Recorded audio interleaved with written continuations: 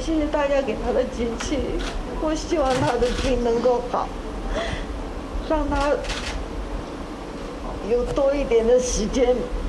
陪他的小孩，卫生纸赶紧挡住滚落的泪珠。艺人李亚平除了心疼女儿于愿琪癌症恶化，丈夫于天二十五号小中风住院，又是一记重击。他每次回家来，他都说好像要热昏倒了。其实我知道他是心力交瘁了哈，就等于是为女儿的事情，晚上也很难。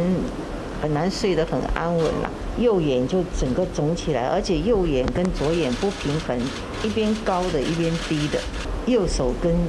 右脚都抬不起来。李亚平清铺于天，两三天前身体就有怪怪麻麻的感觉，不过三到五个小时后又恢复正常。但二十五号发现，不仅抓东西抓不到，甚至右眼还一度看不见，手脚发麻，视力模糊，口齿不清，是小中风前兆。被于祥全跟李亚平劝就医，发现于天脖子后面血管有两根堵塞，脑部也有血块，目前服用凝血药，住院观察。夏天室内外温差大，若水分补充不够，血液变浓稠。就容易有阻塞型中风。感谢老天爷，希望他能够好好，因为小孩子一个才两岁，一个四岁。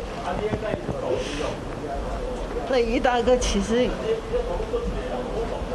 其实也是忧心他的小孩了。瑜伽一波未平，一波又起。李亚平前几天也在家里跌伤，左手淤青，至今也还没好。于天脸书报平安，目前观察休养中，但一颗心仍因女儿病情悬在半空。三新闻新闻小联播 S N G 小组台北报道。